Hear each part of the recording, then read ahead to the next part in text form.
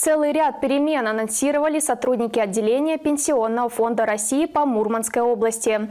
Во-первых, увеличилась сумма, которая ежемесячно выплачивается из материнского капитала российским семьям с невысоким доходом.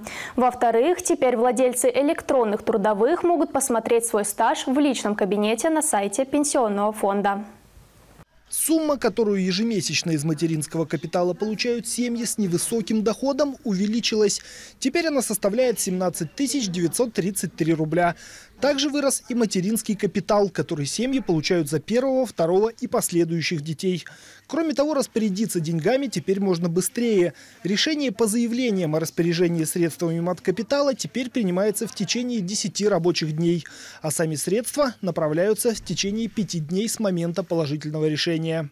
Напомним также, что с прошлого года за выдачей сертификата обращаться в пенсионный фонд не нужно. Пенсионный фонд э, ежедневно получает сведения из ЕГР ЗАГС и на основании имеющихся сведений определяет право на материнский капитал матери и его размер.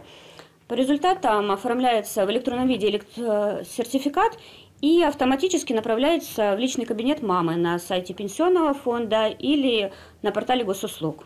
Упростилась жизнь и у тех, кто все-таки завел себе электронную трудовую книжку.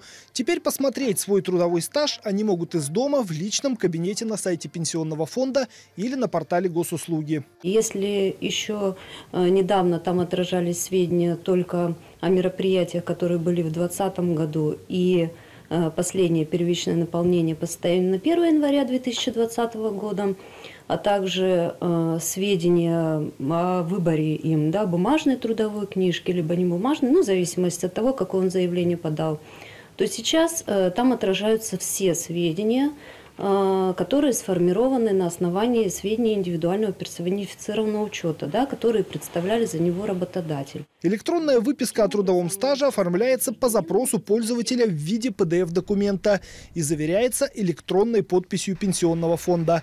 К слову, в Мурманской области электронную трудовую книжку завели себе уже более 22 тысяч человек.